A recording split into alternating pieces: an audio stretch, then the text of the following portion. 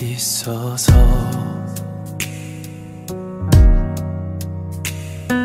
그댈 기다리다 멍하니 서성이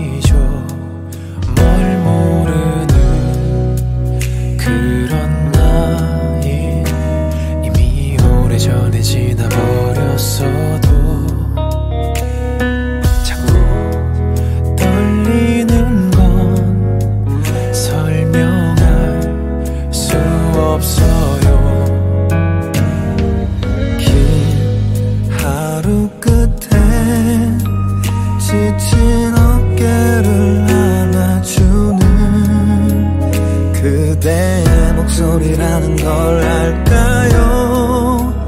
혹시 그대 맘도 나와 같을까요?